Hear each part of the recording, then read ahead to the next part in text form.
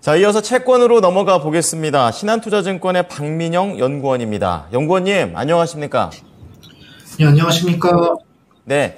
자, 우선은 아, 제목 자체를 새로운 레벨에서 새로운 고민을 해야 된다. 이렇게 좀 말씀을 해 주셨는데요. 아, 조금 더 자세하게 설명 부탁드려요. 네, 맞습니다. 최근에 시장 금리를 보시면은 미국 국채 10년물 기준으로 4개월째 상승을 했었습니다. 4개월 전만 하더라도 10년물 금리가 3.3%대까지 내려왔었는데 현재 시장 금리는 4, 4% 중반까지 터치하고 현재 4.12%에서 등락하고 있는 모습입니다. 이렇게 빠르게 올랐던 이유를 살펴보면은 뭐 견조한 경기 그리고 국채 발행 확대 뭐 여러 가지 재료들이 소화하면서 상방적으로 치우쳐져 있었는데요. 어, 그러나 저번 주에 잭슨홀 미팅을 소화하고 난 이후에는 다시 금리 레벨이 좀 주춤하는 모습을 보여주고 있습니다. 특히 어제 구인 건수 같은 경우도 시장 예상치를 하회하면서 어, 이제 다시 금리가 다시 낮아지고 있는 모습을 보여주고 있는데요. 현재 레벨에서는 지금 다시 이런 높은 금리 레벨에서 현재 경제가 미국 경제가 버틸 수 있을까에 대한 고민과 함께 어, 추세적으로 또 올라가는 게 아닌가라는 우려들이 계속 반복돼서 흔들리고 있는 상황이다라고 볼 수 있는 것 같습니다. 전반적으로 금리와 관련해서는 안정성을 찾기가 좀 녹록치 않다. 좀 이런 생각이 듭니다. 그럼 관련해서 채권 시장에서 있었던 이슈라든지 주간 전망도 들어보고 싶습니다. 어, 일단 최근 시장에서 가장 큰 이슈는 결국 잭슨홀 미팅이었다라고 볼 수 있는 것 같습니다. 뭐 많이 얘기를 들으셨겠지만은 뭐 짧게 내용을 다시 되짚어 보면요. 우선 파월 연준 의장 같은 경우는 뭐 균형을 추구했다라고 생각이 됩니다. 잭슨홀 이전에 제기됐던 중장기 통화 정책에 대한 변화를 가져오지 않을까라는 우려가 나타났었는데요. 다행히 연준에서는 이러한 태도에 대해서 되게 보수적인 스탠스를 보여줬었습니다. 어, 시장에서 언급됐었던 이제 목표 물가가 2%가 아니라 3%로 조정될 수 있는가가 아닌가에 대해서는 어, 그럴 가능성이 크게 낮다라고 이렇게 못을 박아준 상황이고요.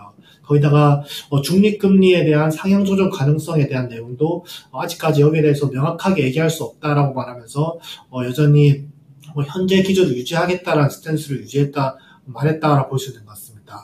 연준은 결국 물가 안정에 초점을 둔 정책 기조로 계속 이어질 거다라고 이렇게 재확인했다라고 볼 수 있는 것 같은데요.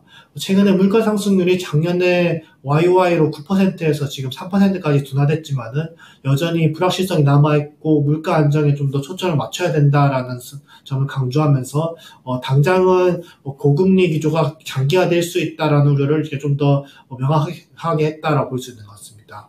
어, 게다가 향후 통화정책 운영에 대해서도 어, 지금 당장 어떻게 할 거다라고 단정짓기보다는 지표 우전적인 정책을 결정할 거다라는 것을 좀 강조했다라고 볼 수 있습니다. 어, 현재 가소긴축과 가인긴축 사이에 지금 중간에 위치해 있기 때문에 어, 통화정책 같은 경우는 좀 더 지표에 좀 더 집중해야 된다라는 점을 강조했고요. 때문에 시장금리 같은 경우는 뭐 상하방 모두 어느 정도 제한적인 움직임을 보여줄 가능성이 높다라고 볼 수 있는 것 같습니다. 뭐 정리해보자면은 어, 연준의 통화 정책은 향후 지표 의존적인 통화 정책을 운영할 것이고 어, 현재 경제 지표들을 살펴보면은 고금리 기조가 어, 장기화될 가능성을 계속적으로 열어야 된다, 열어둬야 된다 이렇게 말씀을 드릴 수 있는 것 같습니다. 어, 향후 방향성을 점검하기 위해서는 여러 가지 변수들을 정리할 수 있는 것 같습니다. 일단 단기적인 내용들 살펴보면은 최근에 금리 급등이 금리 상승세가 너무 가팔랐기 때문에 어느 정도 조정 가능성이 있다라고 보고 있습니다. 어제 구인 건수 확인하셨다시피 어쨌든 고용 지표나 뭐 전반적인 지표들은 너무 가도했던 수준에서 둔화되고 있기 때문에 사실 금리 하락 쪽으로 조정할 수 있는 여력은 충분하다라고 생각됩니다. 다만 어, 전체적인 방향성 자체는 금리가 아직 하락 쪽으로 치우쳐져 있지 않다라고 생각됩니다. 뭐 펀더멘탈이나 수급, 뭐 통화정책, 재정정책 모두 아직까지도 상방적에 치우쳐져 있다라고 보고 있고요. 어, 잠깐의 조정 이후에는 다시 상, 상승 가능성이 높다라고 생각이 됩니다. 어, 채권 시장에서 큰 변수들을 좀 나눠서 보면은 어, 펀더멘탈 통화 정책 그리고 재정 정책 수급 이렇게 나눠볼 수 있는 것 같은데요. 뭐 짧게 내용들을 좀 전방 말씀드리도록 하겠습니다. 우선 펀더멘탈 같은 경우는 뭐 여전히 강한 상황입니다. 어, 경기에 대한 인식이 원래는 침체에 좀 많이 치우쳐져 있었는데 현재 지표들이 예상보다 잘 나오다 보니까 어, 미국 경제는 강하다라는 인식이 다시 강화되고 있는 상황입니다.